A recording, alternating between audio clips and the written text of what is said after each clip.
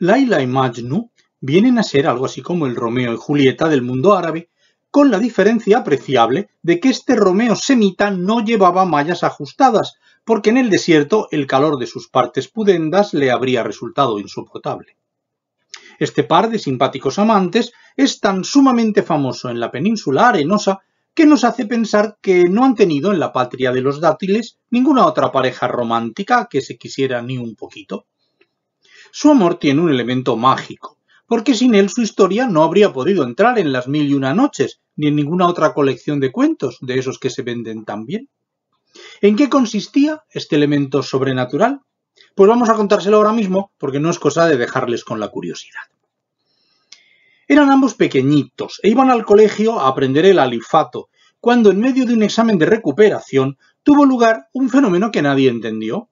El maestro coránico pilló a Majnu copiando con una chuleta que se había pegado con engrudo en el cuello de la túnica y se dispuso a darle un castigo ejemplar.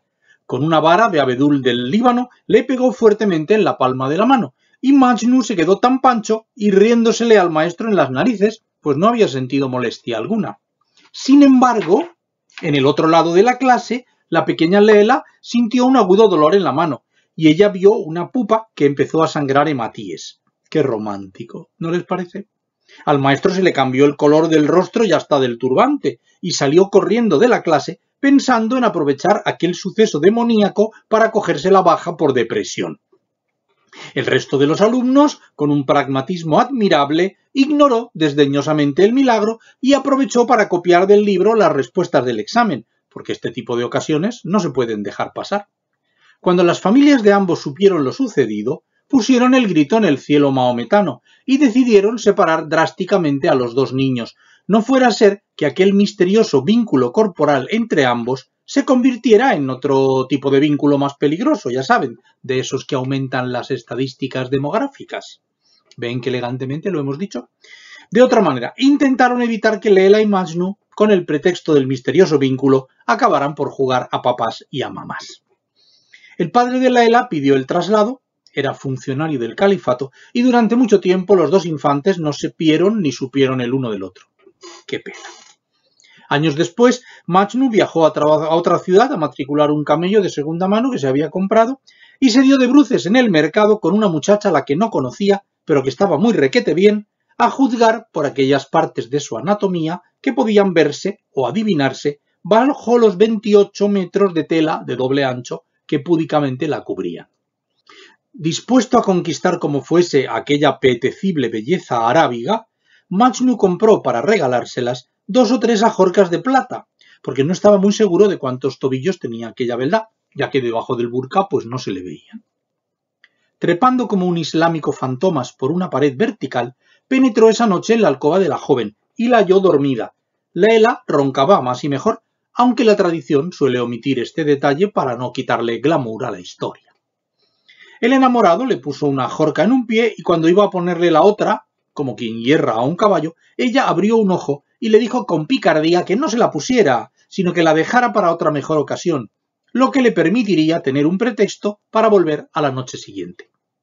Así, durante muchas noches, Majnu entraba a hurtadillas en la alcoba, le colocaba una jorca a Lela en un pie y se llevaba la otra, cuando abandonaba la alcoba al amanecer, después de haber pasado varias horas suponiendo que jugando al parchís con su amada.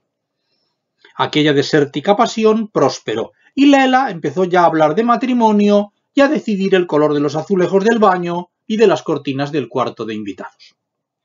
Pero cuando la familia de ella se enteró, no sabemos cómo, pero de alguna manera se enteraría, de que la niña tenía aventuras nocturnas a domicilio y que el visitante no era sino el niño aquel de marras que a la confunda, se opuso rotundamente a aquellas relaciones y sobornó al cadí de la ciudad con mil dinares de oro y siete gallinas ponedoras para que acusara a Majnu de lo que fuera y le pusiera en busca y captura, o mejor, que le desterrara para siempre. Los amantes se vieron separados. Unos guardias con unos bigotes descomunales echaron de la ciudad a Majnu con tamboriles destemplados y a Laela la encerró su padre en una habitación de cuatro metros cuadrados que no tenía ni ventanas ni puertas.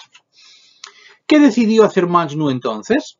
Pues volverse loco, que le pareció lo más socorrido y la manera más sencilla de que se olvidaran de él. Así es que el joven dejó de lavarse, se puso calcetines con las sandalias y empezó a componer poesías líricas, hechos que convencieron a todos de que efectivamente estaba como una cabra. Durante un tiempo, el desventurado orateamante se dedicó a entrar una y otra vez subrepticiamente en la ciudad, con la intención de echarle la vista encima a su amada. La gente le apedreaba, lo que siempre resultaba divertido, y los guardias le apresaban y le volvían a echar a patadas, convirtiéndose esto en una rutina bastante cansina. El loco pasó varios años en el desierto, comiendo saltamontes crudos, no tenía cerillas para hacer fuego, y componiendo octavas califales en honor de Laela, muy mal rimadas, por cierto. A ella el sufrimiento de esta separación no le vino mal del todo, porque adelgazó. De otra manera hubiera acabado eh, por estar bastante rellenita. El siguiente punto de giro en la historia de los dos tórtolos fue que el padre de la chica decidió casarla para quitársela de encima y para que se convirtiera en el problema de otro hombre. Puso un anuncio en el suplemento dominical de la Gaceta de la Meca para buscar un marido en buenas condiciones y cuando encontró al infeliz, obligó a su retoña a acceder al matrimonio, amenazándole con algo, no sabemos con qué, pero que debió ser algo muy efectivo, ya que ella accedió sin decir ni mu. A partir de aquí la historia se vuelve bastante liosa. Aparece por allí un bandido sanguinario, tuerto y miembro del círculo de lectores, que no sabemos qué pito tocaba en este asunto, que ofrece a Majnu raptarle a la chica a cambio de un precio módico para pagar el cual el loco pide un préstamo al 15%. Hay idas y venidas y al final acaban todos los personajes en el desierto, tirados en medio de las dunas y muriéndose a chorros. No se nos oculta que esta es una manera bastante chapucera de contar una historia, especialmente si el clímax acaba estando tan confuso como sucede aquí. Pero, ¿qué le vamos a hacer? Ah, las cosas están así. Nosotros nos podemos disculpar, y de hecho lo hacemos, por nuestra falta de habilidad narrativa, pero al lector, por su parte, no le queda más remedio que aguantarse con lo que hay.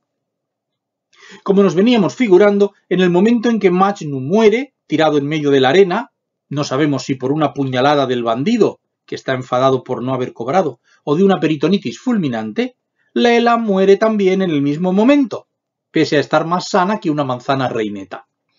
Se levanta entonces un viento fuerte, un simún de esos que muestran en las películas y que hacen que la arena te ciegue por completo, ambos cadáveres quedan sepultados perfectamente, con lo que las familias de ambos se ahorran un gasto importante en sudarios. La tradición recoge estos bonitos amores y los eterniza, sacándoles a la vez rendimiento económico, como hago yo también.